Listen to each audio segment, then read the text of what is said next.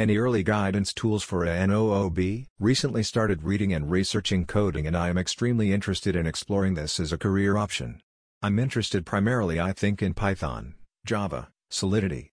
Although I am interested in reasons why you prefer any language any advice you all have would be appreciated and please share links to free and affordable resources I could utilize.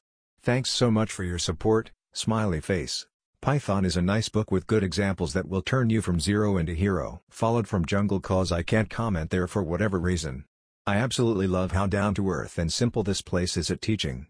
I also recommend keeping a page open to the side with all the commands of whatever language you're learning until you stop glancing at it. Good luck.